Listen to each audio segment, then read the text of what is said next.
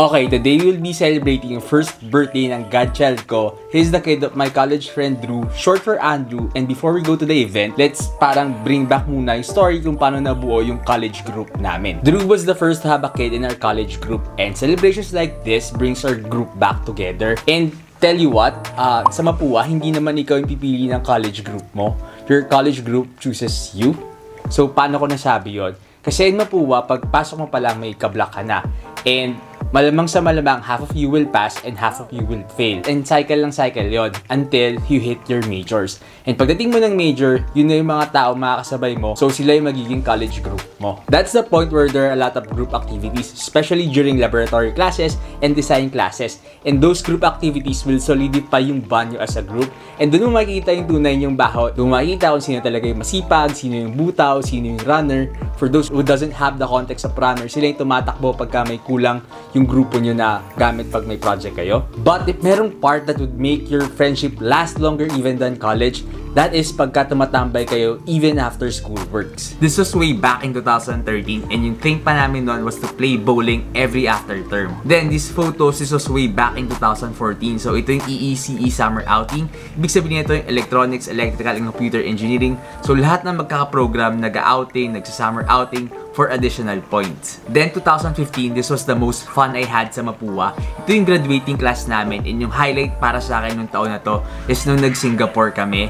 Siguro kasi hindi mo lang talaga madadala yung buong grupo mo outside the country and nangyari yun nung graduating class namin. So, yun, sobrang saya when you bring your whole gang outside the country. This was also the year that foreshadows my interest with cameras. You could see me in some photos na hinihiram ko yung camera ng mga friends ko. But at that time, ginagamit ko lang siya to post as a deck sa mga pictures.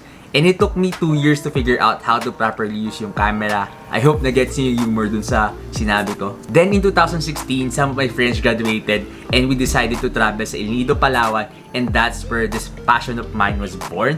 And yung 2017 to 2019 ko, makikita mo na yung bits ng mga videos na yun here in my YouTube video. So instead of me just talking about it, why don't you just watch it? So, I'll link it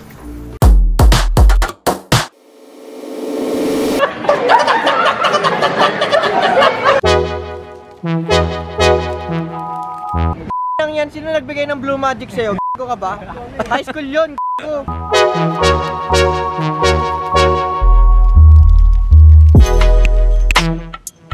Merry Christmas mga kaibigan! Merry Christmas!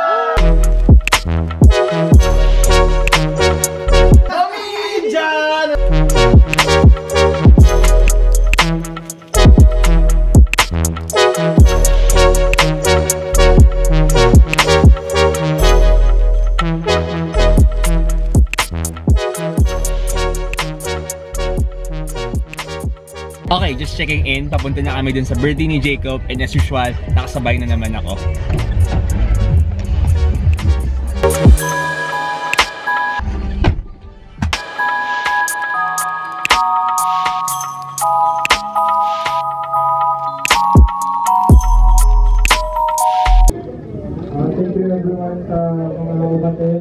Ng birthday, first birthday party ni Jacob. Uh, yun lang, sana maging ano kayo, masaya sa first birthday mo.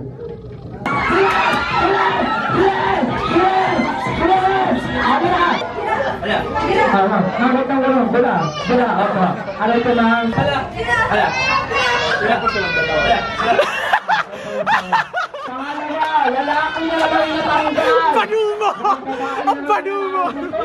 From here on, I'll just narrate things. All of my friends are late, so what's new? So here they are. This is Maan and Zana. Maan is always the highest scorer in our exams, and Zana, just like before, is still great at passing relevant and updated informations. We took photos, lots and lots and lots and lots of photos. And we ended the party by singing happy birthday to Jacob and greeting him wishes. Happy birthday! Sana maging healthy siya and ano, maging mabuti siyang tao kagaya ko. After the party, we hung out for a while sa Ayala Malls by the Bay.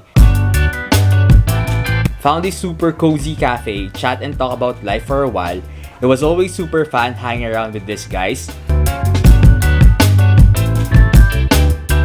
Lastly, this is Brian. It's almost 2 years since he last joined our group. I remember from one of my older videos before, sinabi ko na sana bumalik si Brian sa group namin. And funny enough, after a few months nung nirelease ko yung video na yun, it finally happened. Looking back, I never thought na yun na yung second time, second to the last time na sasama si Brian during our outings. Uh, the last time will be in this video.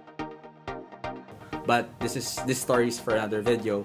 Wala lang, uh, it's just parang uh, I wish or I hope na sasama mo siya sa mga next na lakad namin because I mean like he was still part of dun sa college group namin. Hey, pre, bye-bye. Propose ka na next month. Bye. Bye-bye. Bye-bye. Bye-bye. Okay, Bri. Bye-bye. Lastly, this is Gian. If you're not new here, you've probably seen him from my past videos before. Okay, kasama ko ulit si Gian, yung college friend ko.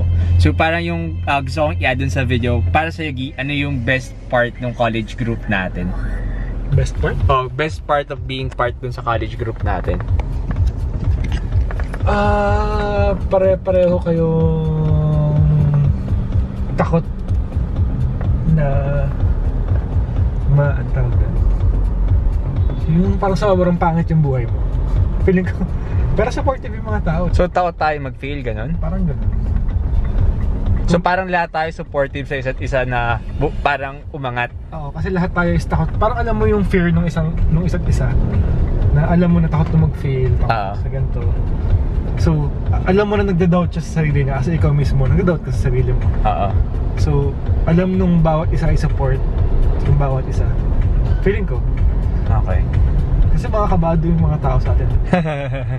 Hindi magigets sa ibang tao yung feeling na yung anxiety ng bawat isa sa grupo namin. Alright, bye. Gabi na.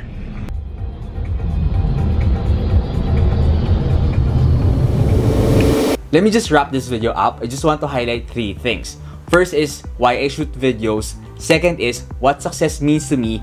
And third is to live in the present. This is a few years before Drew had his kid and papunta kami sa BGC and tinanong niya ako why I shoot videos. Para sa niya. Para maalala ko yung mga nangyayari. Siguro majority of the reason people think na it's for me to make YouTube videos, partly that was right, but majority of the reason behind is for me ha, it's the closest thing we have to traveling back to the past. Somehow I could visit a time where my great grandmother was still alive, or kaya naman yung mga times where my aunt and tito was here in the Philippines visiting because of uh, some family events na napakasaya, or kaya naman yung naglalaro lang kami ng mga friends ko ng mga board games which I really miss. Recently, I've been being too nostalgic about the past or dreaming too much of the future. Uh, yung time na all my hard work paid off and I finally achieved yung true freedom. Yung kailangan ko na lang maging ako and I don't have to play the rules of the others anymore. Somewhere in my early 20s, I realized na success for me is not having a big house, a fancy car, or luxurious items. Everyone is entitled for them to define what success means to them. For me, what success means is being happy, being free, and having security. Those are the main reasons why I wanted to be successful. Just wanted to share what's going through my mind recently. Going back dun sa being too nostalgic about the past and dreaming too much of the future, I wanted to correct it kasi I'm drifting too much from the present. I guess what I wanted to be, one of the thesis of this video is to live more in the present. Whether you're having the best time of your life or you're facing the worst moments of your life, Let's appreciate the now. Let's be grateful for the past. Let's be hopeful for the future. But let's be fully present in the now. I wish I could end this video with that punchline, but I am at a point in my life where I wanted to push this YouTube as my career. So I would like to remind you lang na to hit the like button and subscribe to my channel. So yun, I wish na na-appreciate niyo yung thoughts ko and I wish you all the best and let's be fully in the present. That's it. Bye!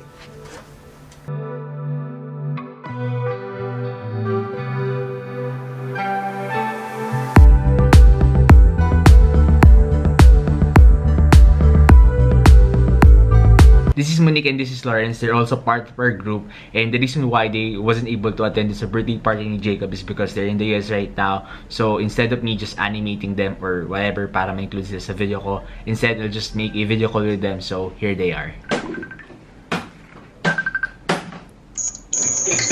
Hello. Hello. Si Monique, si Lawrence. I-add nyo kayo dun sa video ko.